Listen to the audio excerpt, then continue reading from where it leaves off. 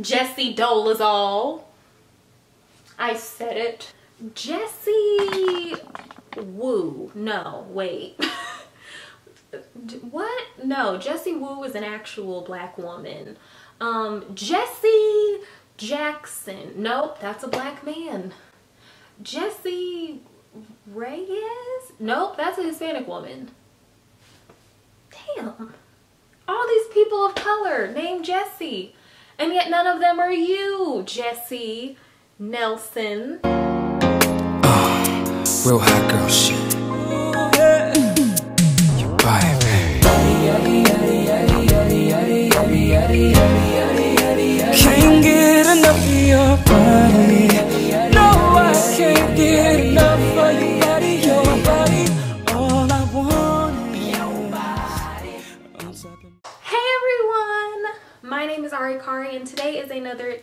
Testimony video. These are a series of videos on my channel where I talk about tea and pop culture and what we can learn from the situation. So, I'm back with the get back. If you want to know why I've been gone, I posted a vlog yesterday. I will link it down in the description box below. If you want to see my other tea and testimony videos, I do also have a playlist of that and I will put that in the eye above and that'll also be linked down below my battery's about to die so let's just go ahead and get into the get on. This is gonna be a short video. Jesy Nelson and the curious case of bronzer okay? Of over tanning of black fishing. Catfishing but you're trying to be black.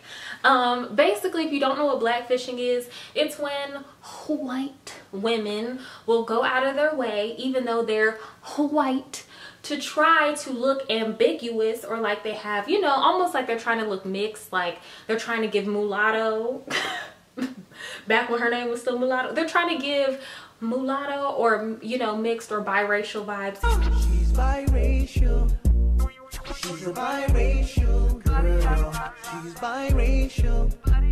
She's a biracial girl. Even though they're white women so, but they try to portray and give the body type, give the skin tone, and give the, usually it's big curly hair, that they're not white, but actually spicy. You know like they might be afro-latina or black and white or they just try to give off a vibe that they're somehow uh, ambiguous or biracial. She's a biracial but jessie's not a biracial She's a biracial girl. She's biracial. Doodle. She's just a white woman. Doodle.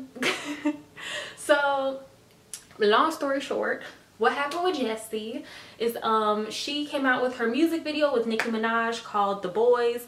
Personally, the song doesn't appeal to me, but I also might not have been in her demographic anyway.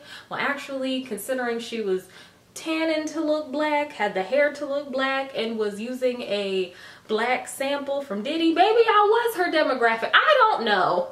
the point is, it just didn't appeal to me in the way that maybe I would have wanted it to. Um, Nicki Minaj looked great, you know, she definitely was holding on to the song, carrying it. Um, but the song is not bad. It's just maybe it wasn't for me, which is fine. All music is not for everybody. That's why we have so many different genres. My issue, and we're going to start with Jesy first, then we're going to move on to Miss Nicholas Minaj. Because I really want to stay, like, I want to like Nicki so bad. so bad like i really want to i want to give it to her because Nicki, whether y'all love her or y'all hate her she is mother she has held the game down for a very long time and she has been successful for a very long time. And she has done so much for rap especially for women in terms of occupying the space. I'm not like i want i want to give it to her but she said such backwards and like old school like she's using like the tired old argument let's just start with nicki since clearly I'm going there like she's using the tired old argument of like well Jesy can tan and get lip filler because I'm black and I wear blonde wigs and colored contacts first of all I, as a black woman, have a black cousin who has light eye. Actually, several. My mother has light eyes, actually. Fun fact, my mom's eyes are hazel and both of her parents are black. Crazy, I know. Um, my cousin has a black mom and a white dad, and she has big curly hair, but it's blonde. Hmm. So I don't really know what that argument of like, well, we wear blonde hair. My cousin was born with blonde hair. What are you saying? My mom was born with light eyes. What are you saying? So this argument, Rihanna, who we all know, a black woman with a black daddy and a black mama from Barbados, has light eyes. What do you say to that? What do you say to that? Who, What do you say to that? Like, I just don't, I'm confused. I'm confused. Throw me a bone because, bitch, I'm not catching anything. I'm not, I'm, tell, explain it to me. Uh, explain it to me. I'm windmilling. Explain it to me. Because at this point, we need to fight. because it's such a tired old argument that people love to make of like well white people can do this because we wear wigs and we wear contacts and it's like come up with something else and on top of that, if we really want to take it there, anytime we wear wigs, we're wearing Asian hair, not white hair. Like when we buy bundles, it's Peruvian bundles. It's Malaysian bundles. It's not Russian bundles. And even then, when it says Russian bundles, that's really just because they bleach the hair super, super light to give you 613 hair but it's still Asian hair. They just put Russian because they dyed it blonde. So again, that's your argument didn't even make sense. It wasn't giving what you thought it gave. Like you really thought it gave that and it didn't. Not at all.